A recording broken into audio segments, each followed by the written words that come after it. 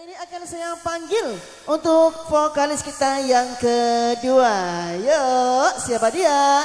Tika Anissa dengan satu lagunya Surga di Bali Dosa.